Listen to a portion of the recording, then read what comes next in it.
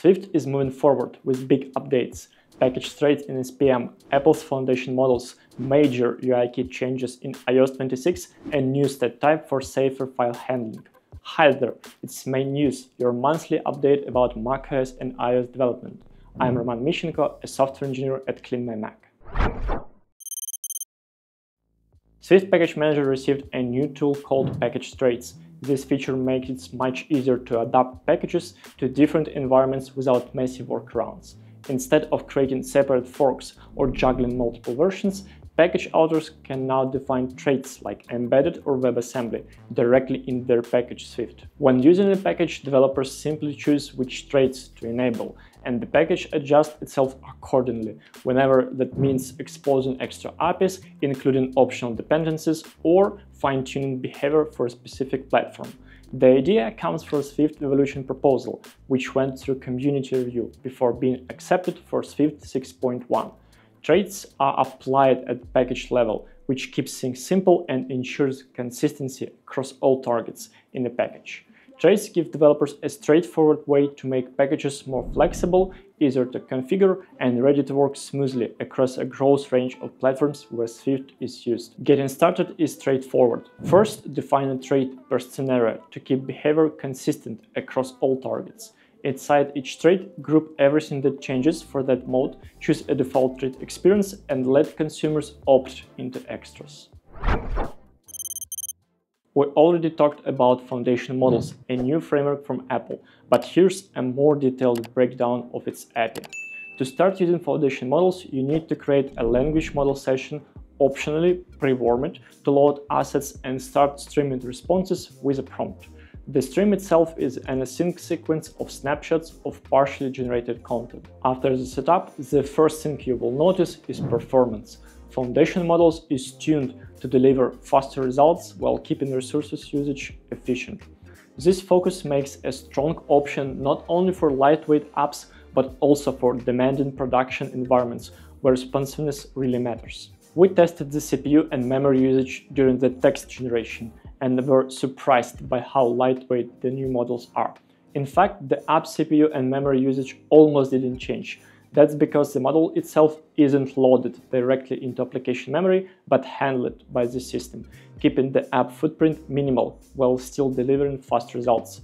But even with this, we didn't notice any spikes in CPU or memory usage during the tests. And its core, foundation models introduce a structured model types that developers can rely on for consistency across projects, including a general model for broad use cases and text tagging model for tasks that require precise labeling and classification. This separation allows developers to pick the right tool for their workflow without overcomplicating implementation. The Foundation Models framework provides multiple sampling types, giving developers the flexibility to choose between predictable outputs and more varied exploratory results depending on the use case. Options include the greedy sampling, which always chooses the most likely token for fully deterministic results, top-k sampling, which selects for a fixed set of high probability tokens to balance determinism and variety, and top P or nucleus sampling, which dynamically adjusts the candidate pool based on probability thresholds, enabling more creative and human-like outputs. Another key feature is the temperature parameter, which gives developers fine-grained control over how deterministic or diverse this framework outputs should be.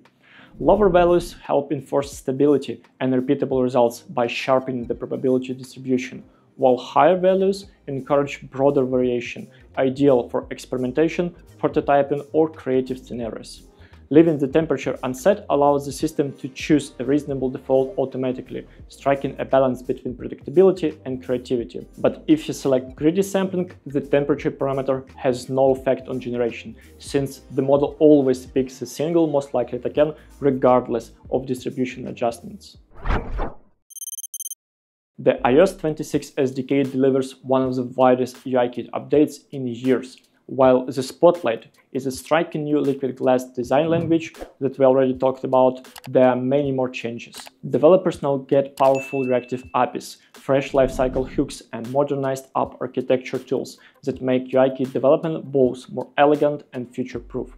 From smoother animation to simplifying state handling, this release brings UIKit closer to Swift UI's reactivity while retaining the stability and maturity that long-time iOS engineers rely on. In a big leap toward reactive programming, UIKit now supports Swift's observable macro out of the box, automatically tracking state changes in models and invalidating views when needed no more set need layout dance. Complementing this, the brand new update properties lifecycle method runs just before layout subviews, letting developers separate logic updates from layout logic clearly and efficiently. And with the flush updates animation option, interface changes driven by observable state or layout constraint tweaks are smoothly animated without manual layout calls.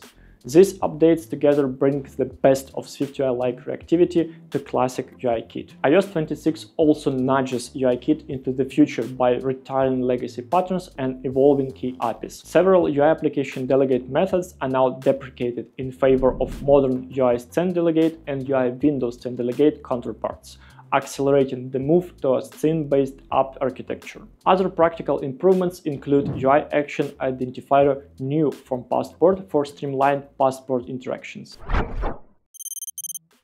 A new pitch on Swift forums proposes adding a native stat struct to the Swift system library, providing a type-safe wrapper around Unix-style files metadata operations. This aims to replace verbose and error-prone C interfaces, wrapping calls like stat, lstat, fstat in Swift APIs that return structured, predictable results. The goal is to make file metadata access clearer and safer for Swift developers. The proposal stat type would let you fetch metadata from path or file descriptor, from there, you will get Swift properties like size, type, symbolic link, permission, and many others. Additionally, metadata fetching with stat will have error handling with clear description of what exactly went wrong. Currently scoped to Unix-like platforms, but the authors plan to extend support for Windows in future iteration. This proposal is under review and implementation is already available for testing. If accepted, the stat proposal would give developers who build command line tools file explorers, or backup utilities a direct and reliable way to inspect file metadata without dropping into C. Instead of juggling unsafe pointers and platform-specific quirks, a single try-stat pass call would provide a strongly typed Swift object with all the needed attributes size, permission type, and timestamps. This makes it much easier to write low-level file utilities in pure Swift, reducing both boilerplate and the likelihood of subtle bugs. That's all for now, catch you in the next episode.